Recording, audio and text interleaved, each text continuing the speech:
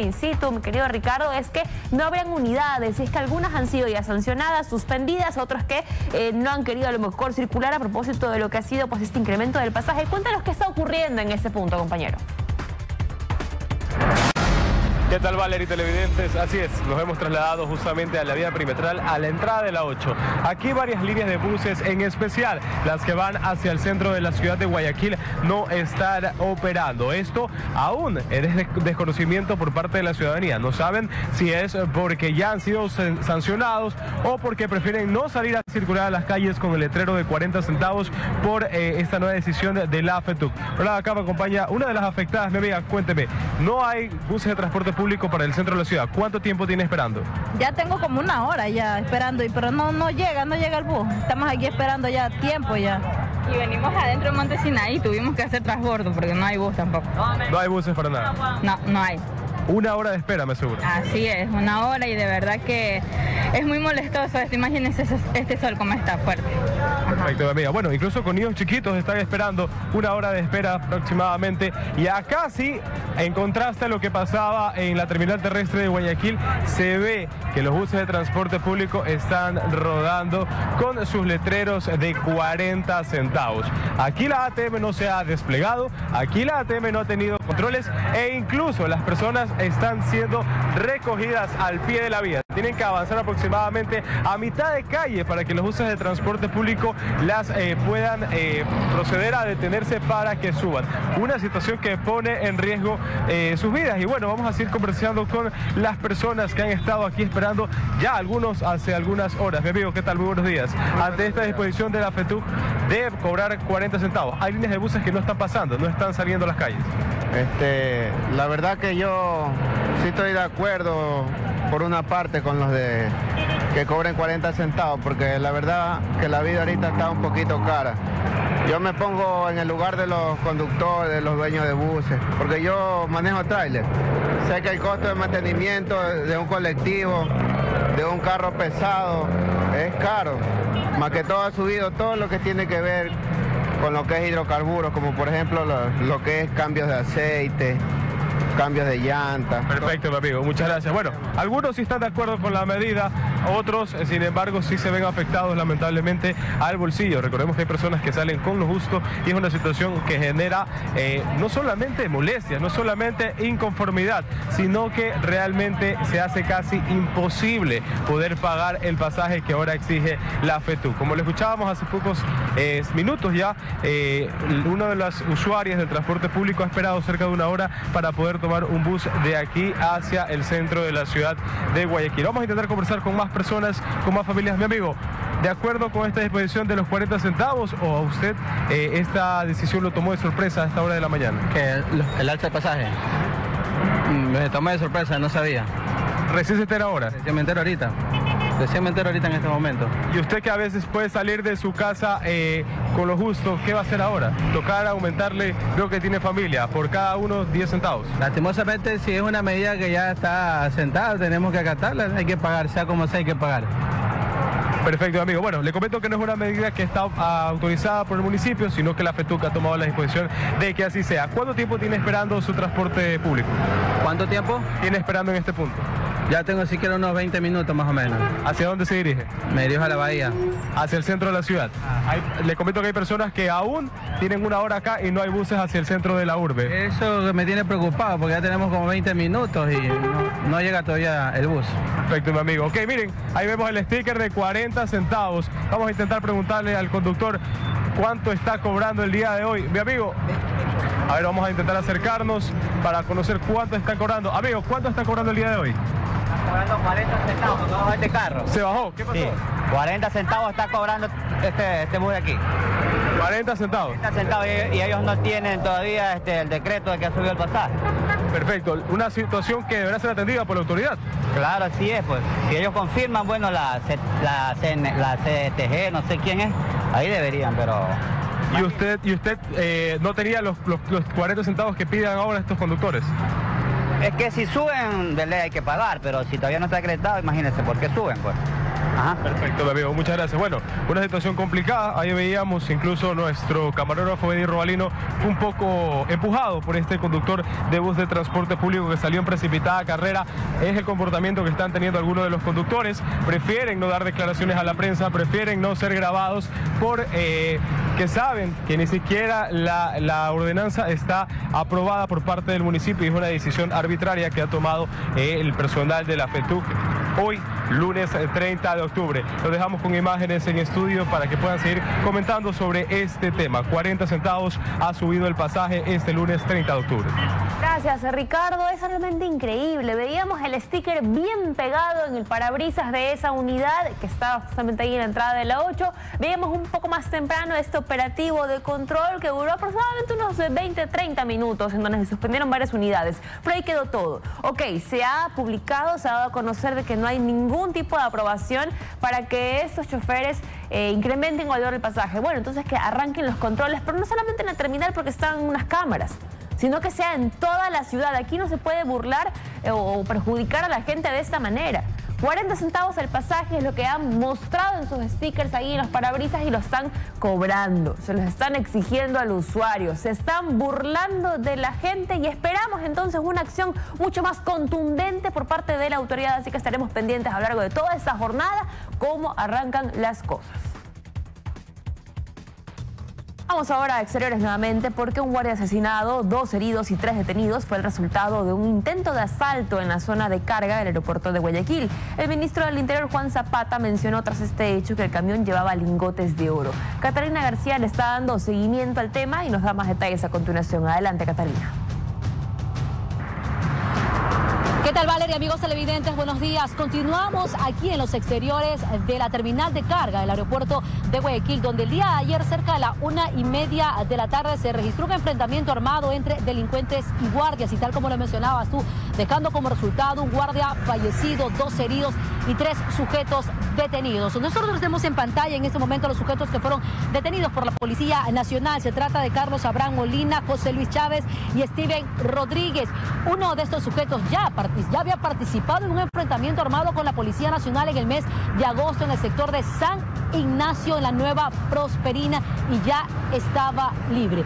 ¿Qué es lo que indican los agentes de la Policía Nacional? Que cerca de la una y media de la tarde, aquí a lo largo de la Avenida de las Américas, ya se reportaba la alerta de que sujetos armados estaban en la terminal de carga. Al momento llegaron los motorizados del Grupo de Operaciones Motorizadas de la Policía Nacional y lograron atrapar a estos tres sujetos. Sin embargo, otros más se dieron a la fuga y están siendo buscados por agentes de inteligencia de la Policía Nacional en toda la provincia del Guaya. Se trata de sujetos peligrosos que tenían armas de calibre mayor como la que nosotros estamos mostrando en este momento en pantalla. Entre las evidencias que les hallaron estos sujetos están cuatro armas de fuego tipo pistola con respectivas alimentadoras, como les indicaba también un fusil, 49 municiones, teléfonos celulares, el, cuatro vehículos eh, también eh, fueron eh, justamente llevados a los cachones de la PJ que participaron en este hecho violento. Pero nosotros vamos a tener toda la información eh, de este caso, sobre todo saber qué juez, qué fiscal fue el que le dio la libertad a uno de estos sujetos que ya había disparado contra la Policía Nacional en agosto y estaba libre y qué va a pasar con estos otros dos que también fueron atrapados por agentes de la Policía Nacional. Los tres sujetos ya se encuentran todavía en la unidad de flagrancia de la Fiscalía en el cuartel modelo y aquí como tal, Valerie, en la terminal de carga del aeropuerto de Guayaquil no hay mayor seguridad. Está todo, eh, como me atrevo a decir, como que si no ha pasado nada dos guardias brindando seguridad, se está manejando con total normalidad, están los carros esperando poder ingresar hasta la terminal de carga. No es que, no es que han elevado el número de guardias que estén en este punto tras lo ocurrido el día de ayer. Las investigaciones por parte de la Policía Nacional continúan, como te decía, para eh, eh, dar eh, con las personas que proporcionaron la información de los lingotes de oro. Estamos entonces a la espera de la audiencia de, flagrancia para los tres tipos atrapados. Esto te puedo informar hasta esta hora de la mañana, Valeria, y tú sigues con más en estudio, compañera. Que tengas buenos días. Igualmente para ti, Catalina, gracias por la información, gracias por el seguimiento que has dado a este hecho que ocurrió la tarde de ayer. Y ahora nos enlazamos con nuestra compañera María Mercedes Pesantes. Ella se encuentra en la calle Boyacá, en el centro de la ciudad, monitoreando cómo se preparan los ciudadanos para el corte de energía que se prevé para las 10 de la mañana. En otros puntos estaba para las 7 de la mañana, pero no ocurrió. Cuéntanos cuál es el panorama en este sector.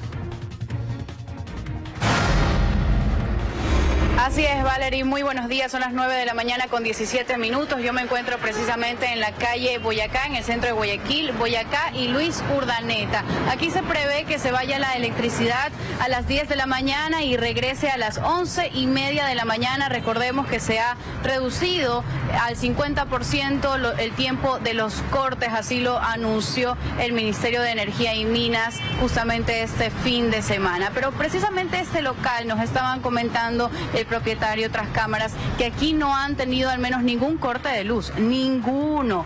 Y eso que sí ha estado, pues, eh, esta intersección, en este caso Boyacá y Luis Jordaneta, sí ha estado incluso en el cronograma del viernes, ¿no? En los horarios que se daban los cortes pero aquí el propietario nos dice que no tuvo ningún corte, al momento no conoce de esa situación en, otros en otros términos. También hay confusión ¿no? por parte de los, de los propietarios de locales porque se han dado cortes en distintos horarios. También nosotros el viernes les comentábamos acerca de un, un local que cerró, mandó a sus empleados a casa y demás. Pasó media hora, nada más media hora y regresó la electricidad y tuvo que llamarlos incluso.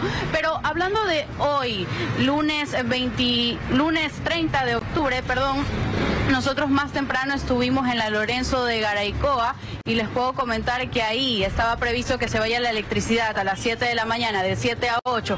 Llegaron las 8 de la mañana y nunca se fue. Entonces sí hay falta de planificación, los ciudadanos obviamente han comprado también sus cosas. Estuvimos también en el colegio García Moreno, si me ayuda por favor producción con las imágenes. Ahí tampoco se fue la electricidad. En esta escuela nosotros les comentábamos el viernes, están en exámenes, así que necesitan programarse. De hecho, los directivos habían llamado a sus, a sus alumnos para que asistan un poco más tarde, a eso de las siete y media. La entrada era a las 7, les pidieron que por favor vayan un poco más tarde por el corte de electricidad, pero este corte no se dio. Así que llaman también a la autoridad para que se puedan planificar bien y se den los cortes en los horarios programados, porque eso los beneficia también a ellos en su planificación. Con esta información, compañeros, me despido, siendo las 9 de la mañana con 19 minutos. Valerie, tienes más información. Gracias, Meche. Así es. Mientras hablamos de cortes de energía, producto de este racionamiento, también hay que hablar de cortes de agua que se tiene previsto para el día de mañana. Ponga atención, desde las 9 de la mañana arrancará este corte programado que ha indicado la empresa Interagua hasta las 4 de la tarde. Es decir, toda una jornada donde se llevarán a cabo estos trabajos. Vamos a revisar algunos de estos sectores ya que son bastantes. Es un corte bastante considerable. Vemos que está mucho lote, etapa 7 en el norte de Guayaquil, la cooperativa Sergio Toral, Mapasingue OS, también, también está incluida en la Ciudadela Los Ceibos. Vamos a revisar más sectores eh, donde se verá este corte de agua. Vía la costa también, Barrio Centenario en el sur, la calle Pancho Segura, la avenida Domingo Comín también en el sur. Ténganlo muy en cuenta, será desde las 9 de la mañana hasta las 4 de la tarde. Otros sectores, calle 10 de agosto y avenida Quito, Ciudadela Los Cumbres, que eso pertenece a Los Ceibos también, calle Tunguragua y calle Huancavilca. Ahí está entonces este nuevo corte programado que ha indicado el la empresa Interagua. Son las 9 de la mañana con 20 minutos, amigos, pero ponga atención con lo que tendremos al volver. Un corte comercial, lo que vamos a hacer en este momento. Se realizaron varias ferias de emprendimiento y de gastronomía este fin de semana en Guayaquil. Luego de la pausa les contamos más sobre esas actividades.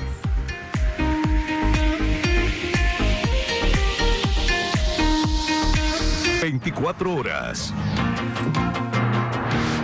Bien, estamos de regreso con el segmento de denuncias. Atención, los habitantes de la ciudad de las fincas vacacionales en Durán denuncian que las calles se encuentran totalmente dañadas. Ellos señalan que la avenida fue recabada, o más bien, entre comillas, medio empezaron los arreglos para ser rellenada. Sin embargo, los trabajos aún no concluyen. También con la llegada de estas precipitaciones, estas lluvias que se han registrado en los últimos días, se han formado huecos, lo que podría ocasionar eh, pues varios daños a todos los vehículos. Pueden ocurrir accidentes una desgracia mayor. Así que eso está ocurriendo en Durán, señores. Y imagínense cuando ya lleguen las lluvias mucho más fuertes que se esperan que sean ya en el mes de diciembre y arrancando el 2024. Respuestas es lo que piden en este punto en la ciudad de las fincas vacacionales en Durán.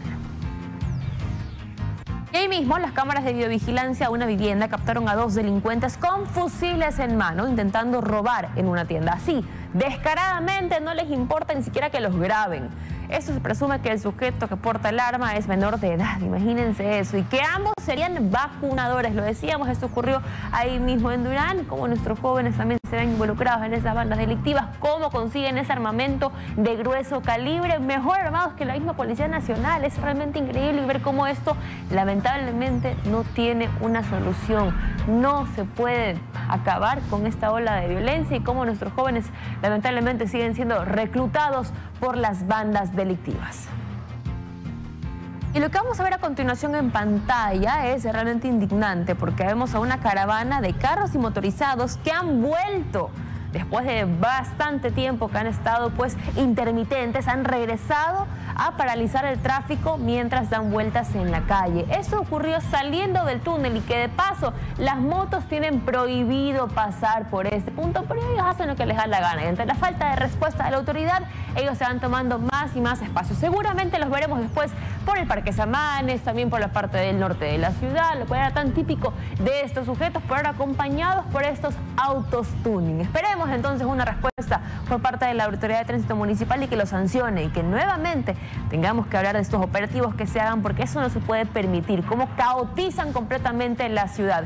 Amigos, ahí están nuestros números en pantalla, nuestros canales de contacto. Por un lado el número de WhatsApp de 099 4800 976 y también nuestra cuenta de ex o Twitter, como quiera llamarlo, arroba 24 para que nos comente qué está ocurriendo en su sector, una foto o un video que nos puede facilitar entender en mayor detalle lo que está ocurriendo. Y antes de finalizar, queremos contarles que este fin de semana, ya cambiando un poco de tema y para refrescarnos un poco, se realizaron dos ferias para emprendedores en Guayaquil, mientras que en Pascuales un festival gastronómico tuvo como plato estrella a la fritada.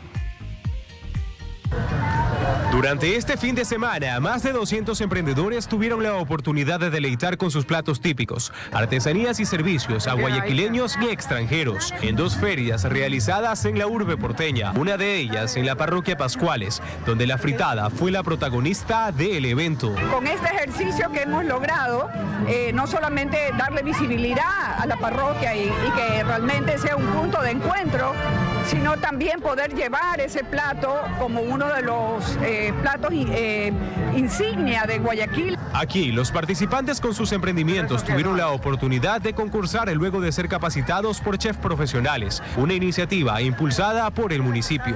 Que para nosotros es importante que ellos se capaciten en manejo de alimentos, en presentación. Así tendremos una ciudad más segura a través de realizar actividades en donde se reactive el comercio de la perla. La alcaldía también habilitó un espacio para microemprendedores en el Parque Seminario. Aquí estarán ofertando sus mejores platos, productos naturales, piezas artísticas e incluso accesorios para mascotas hasta el próximo 3 de octubre. Me parece maravilloso y así nosotros nos informamos de qué tipo de productos hay en esta feria. Sin dudas, una opción más para disfrutar en familia de lo que ofrece Guayaquil durante los próximos días de feriado. Amigos, y con esta información nos estamos ya despidiendo. Como siempre, gracias por la sintonía y recuerda que a la una de la tarde hay más información. Buen día.